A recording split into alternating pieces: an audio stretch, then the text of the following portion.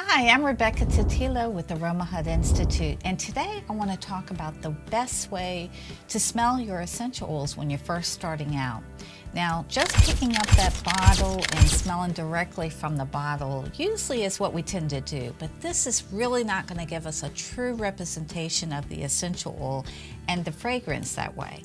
The best way to smell your essential oils is to use the perfume strips or the blotters, and this is what professional perfumers use.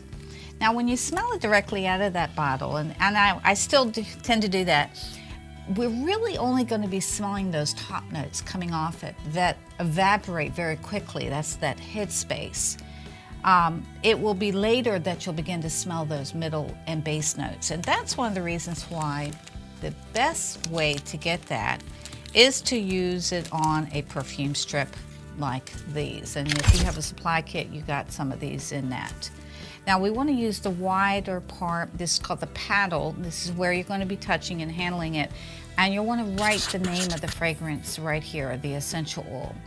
Um, you'll be using this smaller tip to actually dip into the bottle. And so sometimes they will come with measured marks and that'll give you the idea of where you need to dip the oil. But if they don't, then you're just simply going to bend it about an inch or so down. And then you're going to actually just dip that right into your essential oil and you'll have that tip up so that if you place it on the table or on your um, workspace, then this area will not be touching the table and get sticky.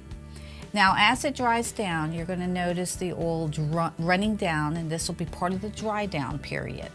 And you'll be able to just take that blotter and just about an inch away from your nose, you'll smell it and then you'll move it away because we want to allow that fragrance to go into your brain and process. Your brain is going to be collecting information on that fragrance because you may have smelled it before, you might have some memories tied to it, and other information.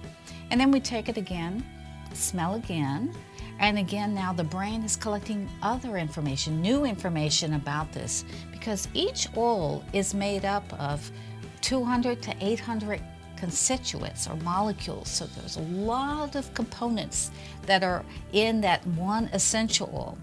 Now, at first you smell those top notes, and then you're going to smell the middle note about, about a minute or so later, and then later you will smell it again and smell that base note.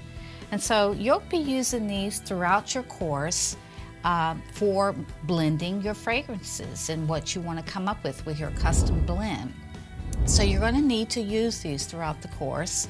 Um, after some time though, the, the oil will evaporate, so you're going to need to make some fresh strips as you go.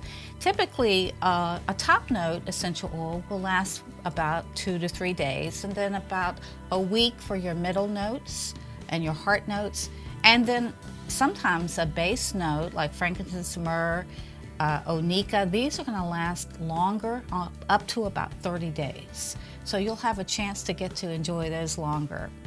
So that's how easy it is to use your blotters when making your blends. Thanks for watching.